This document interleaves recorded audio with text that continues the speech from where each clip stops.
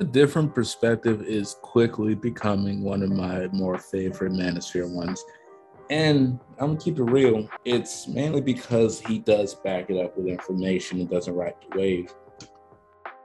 Now, in the Black Manosphere, we do need more centralists or people who stick by information because the accountability, because it's just mudslinging at the end of the day if you can't back up what you're saying, what you're doing. But here, this thing is beautiful. This is beautiful. He's not the only one. Uh, one of the other ones I follow, I follow a few, but they all eventually start getting political, and that's when I kind of back away. MTR, uh, Medico, uh, Metacore uh, tutorials and reviews, he's managed to do that. He's managed to survive the wave, and he's strong for that. But it's very hard to be Manosphere and not do that because that's essentially what it's set up to do. The Manosphere is right wing conservative. You know, let's call it for what it is. It is right wing conservative Republican. And people who don't want to admit that or shy away from that, I question your motives. You know, let's be honest. A lot of them are even getting money and support from it. And some of the people who, same dudes who are putting out this stuff about uh, this and the other, they're also kind of about manosphere stuff, they're also putting out stuff about just racist stuff and grifting and this anti-black community stuff. And again, anything that attacks a community based off of propaganda, I'm gonna say it's anti-community. So yeah, but this is funny. In fact, let me go to the community tab. How do I do that? How do I do that? Yeah, this is my other channel, but everything is on here. Wait, did I not subscribe to? Let me subscribe to him.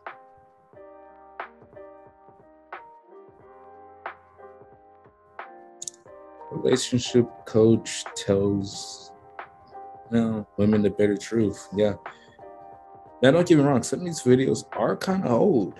Um, not this one in particular. 18 hours. But some of these videos are kind of old. The thing about it is, at the end of the day, is that I mean, like some of these uh, training coaches and how they're reacting. Because when it comes down to black pill results, just results, just factual results, a lot of these black women coaches are getting tired of these relationships not working because then their job is on it. This is why Kevin Samuels was a beast. He was a monster. He focused on results what, what did when Asta when Asta from Black Clover asked Julius what makes you uh, Wizard King? The Wizard King looked down and said results, results, and I loved that. It was bone chilling because of how how cut bone true it was. What produces result is always going to be seen as truth and be perceived as truth. So these dating coaches, who are not able to produce these results, you know, either they're going to be accountable or they're going to be honest about what's going on. Oh, also something I want to go ahead and say about Coffee Pot. I did not copy him. I actually made wanted to make this channel 2017, and it was based upon the mythical Lunar Dew, but uh, look, it, it didn't get off. But I do like his sound bites and stuff. I really do. Uh, but his video is 12 minutes. I'm trying to get to the. I'm trying to get to the community tab. Society. Guys who have depression, girls who have depression. Oh, yeah, this is another person. I'm not subscribed to him either. What? I should be. What's going on? Am, am I being unsubscribed from people?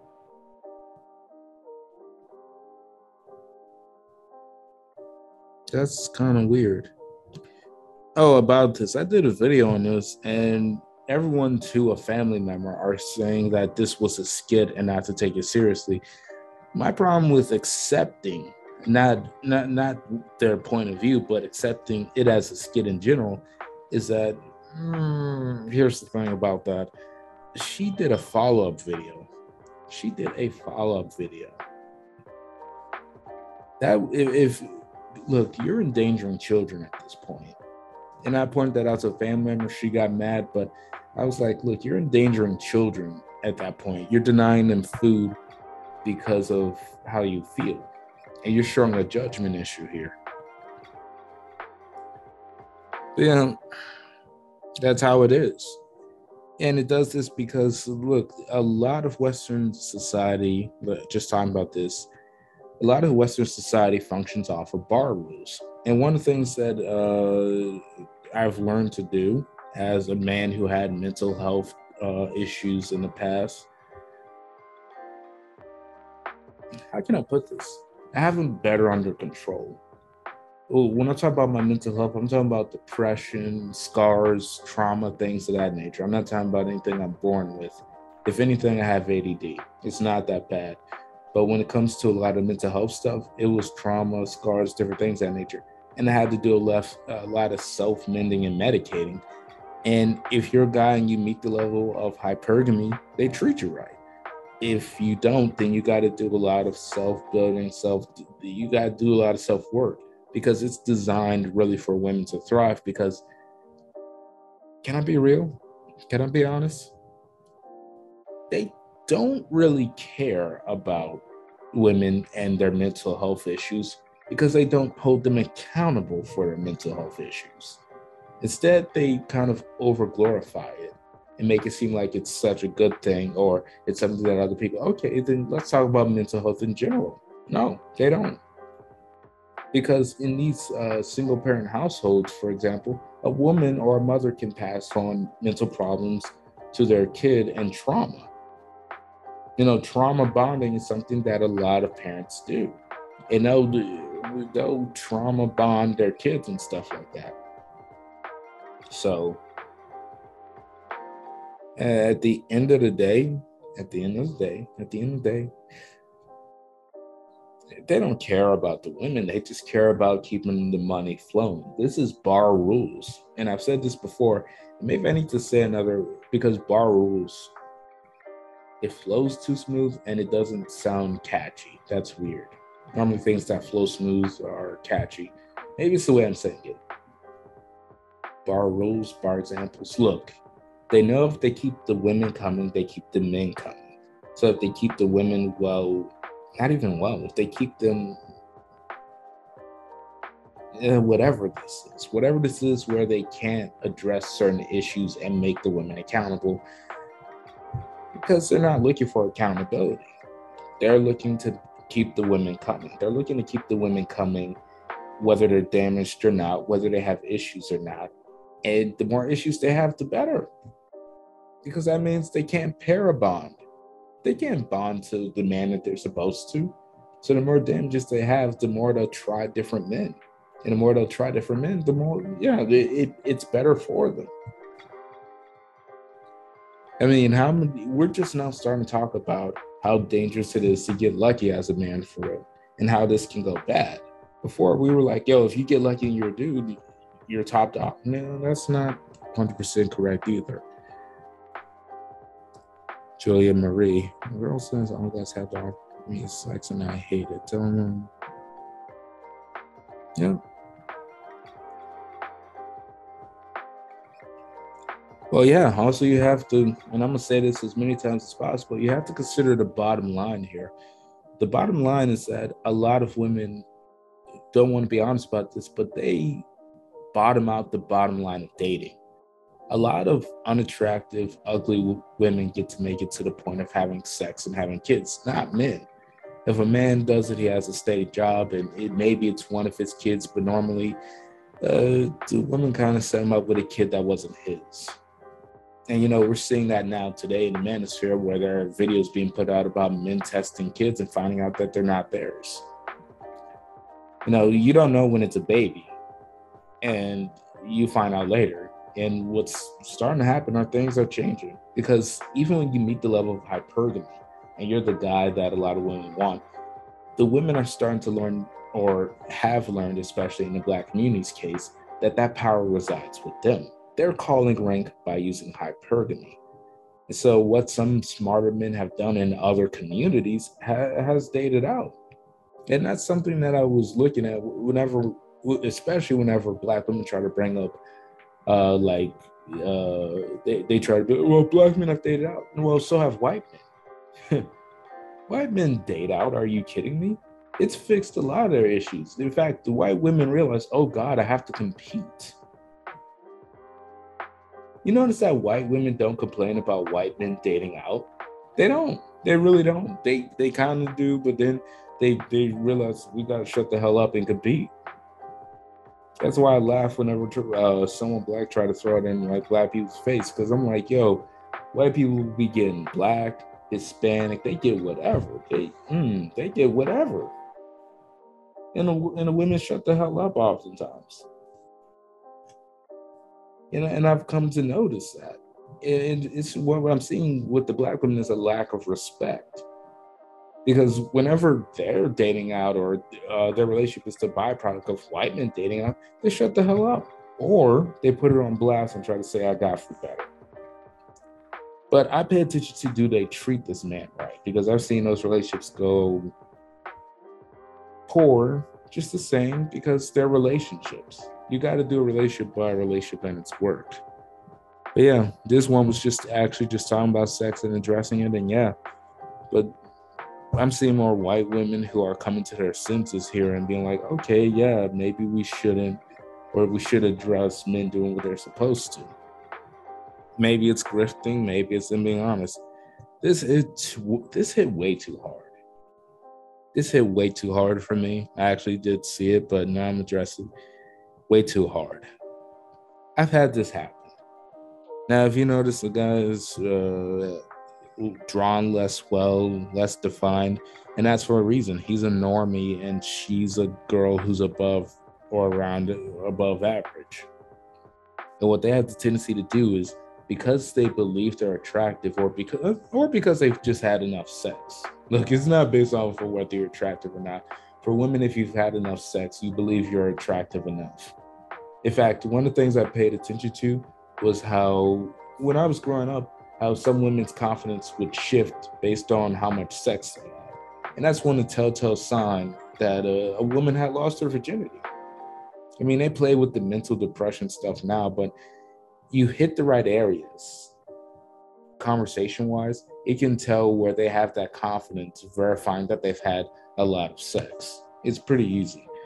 But yeah, as a normie guy, whatever, I have had my fair share, my fair share of women who are either believe they're attractive or subpar attractive, or they've just been shared out by the entire community to come at me with an attitude because they've had sex or they want to check and believe they're super sexy. And it's annoying because they're not asking me out or something. It's like they're trying to say, because you're not super attractive and I know that I'm attractive or I believe I'm attractive, I'm going to say that you're trying to do something to me. What? That's happened. That's happened to way too many dudes. That happened to me. There was this one girl that, again, wasn't that attractive. She was just having a lot of sex, who tried to hit at my self esteem, and I didn't pick it up because I didn't care at the time but she was calling me out saying short, this, that, and the other. Uh, she was also doing it to another guy in the group. This was way back after I just graduated community college. Well, no, co- no, just high school.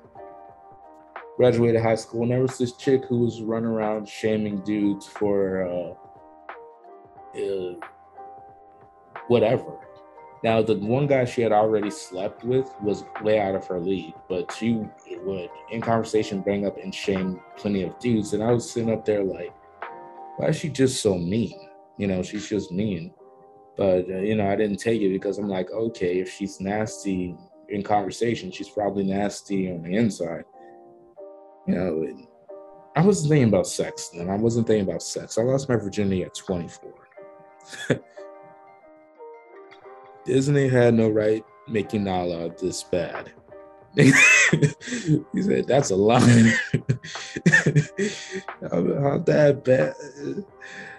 This is also the comedy that I subscribe to.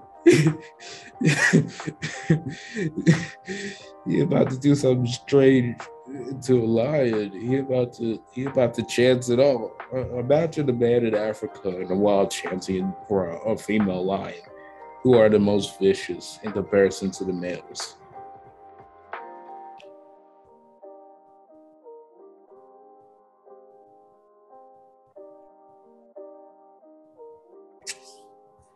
Yep.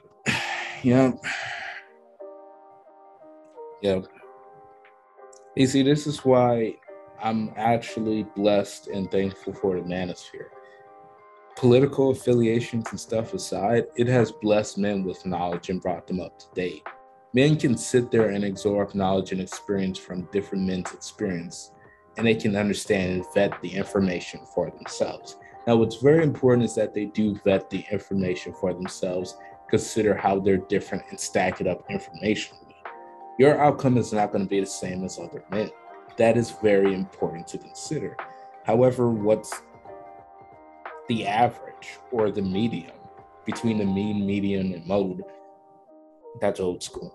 But what's the average? Is that uh, most women just don't respect most men. And if you're an average man, she's not going to respect you. She's not. What you're making a future for is divorce, or you're making a future for uh, a bad relationship or a bad fallout. Because look, if a woman doesn't respect you, it will always end bad. And what we've learned, because everything works the way of women, what we've learned respect is now. Respect is lust. So if a woman doesn't lust for you, she doesn't respect you. And if she doesn't respect you, there's no point. Because there's nothing to really make them accountable on that whole respect line. I mean, when a woman says that she respects a man, what what do you think? What do you truly believe that means? Especially today and what's going on. They're allowed to size shame a man. They're allowed to weight shame a man. Cool, great. Um, but with all that added power, what are they accountable for? What can they answer to? Their lust. That's the only thing you can trust them by. And if they don't lust for you, there's nothing to trust you you trust their lust. You and that's what relationships are built off of. Because when they're lustful and they know they're in the wrong, they're gonna have the chance to make up excuses for it. And because look, spoilers from the black community, that's what black women do. They use lust and availability of sex and controlling that to try to say that. So in the other communities, it's no different. It, it really isn't my again, I'll say it as many times as possible. My dad is six foot four and had multiple baby mamas and multiple women, and they either blame themselves or blame him in the peripheral. They they blame him from hindsight. You know, when they were getting it in, when they were having sex, when they were doing all that stuff, they, they, they didn't say they couldn't say shit. It's different on the man's side because a lot of these women are controlling who has access to sex and they're using sex to judge proficiency of a man. And you kind of see it today where not as much today, but maybe five years ago, you saw it more where if a man was really having sex, women would be interested and be like, yo, I got to figure out what's it, what, this guy have going on? Not anymore. You know, it's not like that.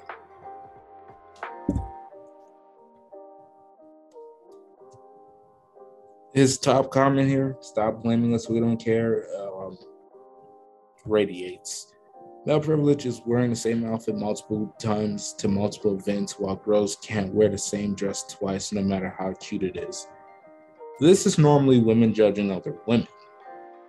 Um, also here's the thing about that whole male privilege thing. If a dude is doing this and a woman has not called him out on it um, she's probably fucking. So this is that hypergamy stuff that I was talking about. There isn't a single straight man on earth who cares if you wear the same cute dress twice. The negative comments will come from other women. Yeah, that's what I was saying. Maybe I did see that one before. PSA men get to decide what sex is. So a particular group of people cannot have an opinion about something due to their gender.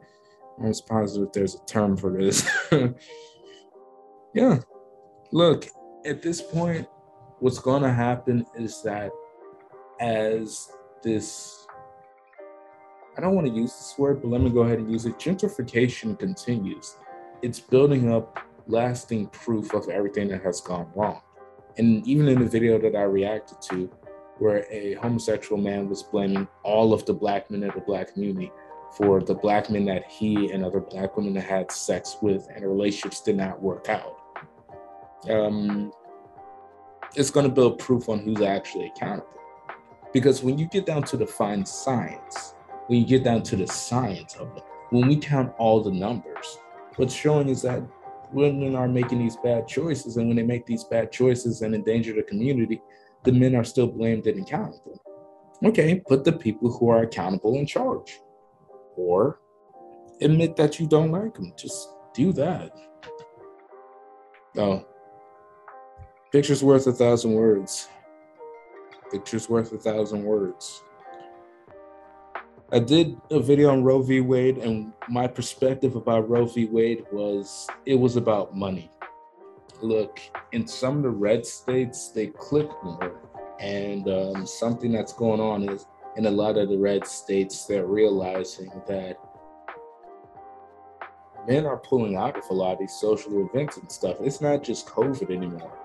Plenty of men are starting to realize that, yo, if I'm not on that level of hypergamy, if I'm not registered in a woman's mind as super attractive, everything I'm gonna do, I'm, I'm gonna waste time and money. And as times get harder or things get closer to a recession, we're gonna see that happen more. Because it, it, look, mm, well, a depression, but a depression is way, way worse. It's an economics class, so the, the things are going around in my head but the economy naturally goes up and down depending on your support system and what you have established. Yeah, there are a few shock values like wars and things of nature that can affect uh, things like oil and gas. Again, when when uh, Bush was in office and we went to war, gas was up four dollars, and that was way back when. So coming to now, coming and talking about this money and stuff like that. Uh, look, with all that's going on, with all that's happening, at the end of the day, look, men are going to make choices and they're not going to waste time on women. They're not going to. We're getting past that point. All men do sit up is do when women aren't having sex with them is sit up and blame themselves for coming there and dealing with women in the first place like it, it's coming to a point where plenty of dudes are actually starting to not come. And, you know, those are the those are the people who actually spend the money. A woman will show up and expect men to spend money on her whenever she goes to an event. They don't bring the money themselves, they encourage people to spend money. But as they lose that power, they're going to lose their voice. And I really believe with the Roe v. Wade thing happening, a lot of red states are doing a um, fiscal money experiment to see whether or not uh, they're going to survive better. And if it works out, it's going to be more towards the conservatives. They're going to be like, yo, our ways work. So, yeah, as centralist, money wise, I, I do agree on that. Because as a thinking human being, I'm not, I'm not sure what you register as to other people. As a thinking human being, just existing, I'm not going to spend my money on a woman who doesn't like me, is not attracted to me, and I'm not going to chance it. Those days are over. Why spend money on those betting days are over? Those betting days for most men are over. A lot of men are starting to figure it out. You know, if you're not this, the other, then there's no point. And one of the things that goes heavy is actually how they're censoring content that points out uh, the double standard for men. Because there are plenty of men who don't they do don't do this and the other, and they're still getting blamed for the community. So, yeah, they're dependent communities. Okay, last one because I've been going on for a while, but this is still hilarious. This is still hilarious. And that's not always the case. It's only the case if they don't have multiple men to pay for it if a woman has feminist ways and she don't sweat the bill, uh, she has dudes on the back backup. Because even a woman who makes six figures and she makes that six figures honestly, for example, she's going to sweat the smaller dollars because she understands how hard it is to make that money. We're not talking about sex and money, sexism and money. We're talking about money in general. If you work hard for the money you make, you're going to sweat every dollar you lose. So, yeah, if they're not sweating it, oftentimes they have other people to pay for it. So, you know, if you identify a woman as a feminist and she doesn't sweat it when the bill comes and stuff, you are not her main source, and, uh, and she has other people. I just want to go ahead and add that to tidbit. This has been all with Lunar Dew, a different brew. I'm pretty sure I went on longer than I was supposed to.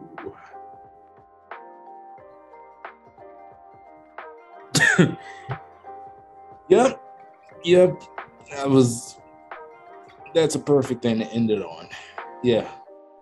Yeah. Yeah. Yeah. This definitely like this. Did I not like the other ones? Well, you heard it here first, guys. Let's go to hmm. commercial.